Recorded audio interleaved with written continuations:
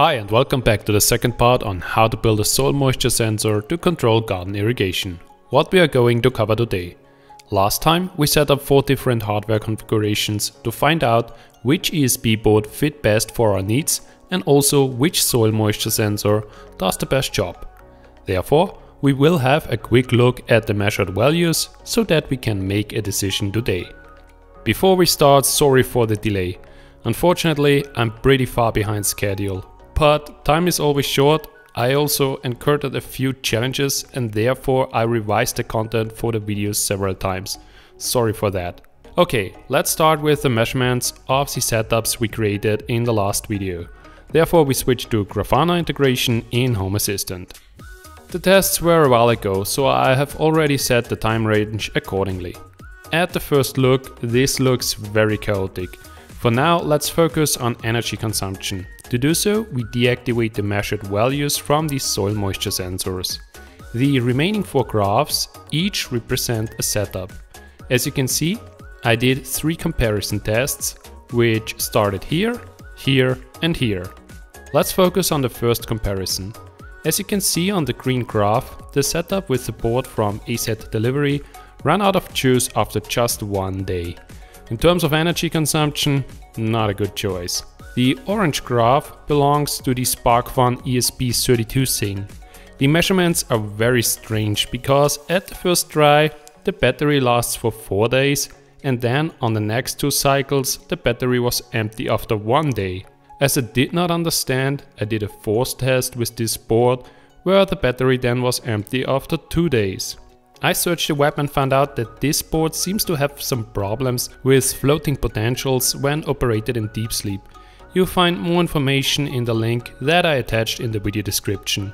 To be honest, I did not dig further. For me just one thing is clear. I will not use this board any further for battery operated projects. Back to our graphs. Next we have a look at the blue graph, which belongs to the DFR ESP8266. At least for the second and the third comparison, power consumption is quite similar to the yellow graph which belongs to the DFR ESP32. Both setups last for 4 days, respectively 5 days if we completely drain the battery, which happened to me unintentionally. Based on this result, there is a clear winner for me, the ESP Firebeetle 32 port from DF Robot. The ESP8266 port has an almost identical energy consumption, but the setup is more complex because it only offers one AD converter. Fine. Now let's look at the measured soil moisture values. This is a little difficult because some of our sensors have only been running for one day. That means the comparison isn't entirely fair here. Nevertheless, one thing is immediately apparent from the values. The DF Robot Soil Moisture Sensor version 2 has the greatest sensitivity. Let's zoom in a little here. At this time, shortly before noon, I started the test. Half an hour later, I watered the plant. The soil in the plant was very dry, so we expect a big jump in the readings, which is the case. But the height of the step varies depending on the sensor type. The bigger the jump, the better the sensitivity and therefore the better the sensor. The common soil moisture sensor version 2 performs worst. The change is from 1.37 volt to 0.92 volt, so 45 millivolt. The DFR soil moisture sensor version 1 performs a little better. Here the step is from 2.2 volt down to 1.2 volt, so step size is approx 1 volt. Simply put, the sensitivity is twice as high compared to the sensor before. And then we have our DFR soil moisture sensor version 2. Once the step size is from 1.83 volt to 0.43 volt and once from 8.67 volt down to 30 millivolts. So step size is approx 1.4 volt up to 1.6 volt. The sensitivity is 3 times higher than the worst sensor. I realize that such an one-shot comparison has no statistical significance, but for me, the result is enough to make a decision. I continue with the DFR Soil Moisture Sensor version 2. Because the sensor is also large in size and the electronics are already cast, I like the sensor best from the start. Since this also delivers the best sensitivity, I have a clear winner here.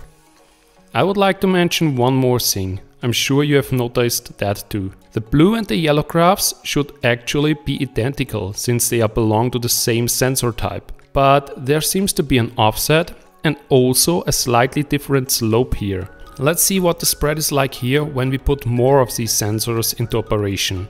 For now it seems as if we will have to calibrate each sensor individually later. It is completely clear to me that the effort put in here is overkill.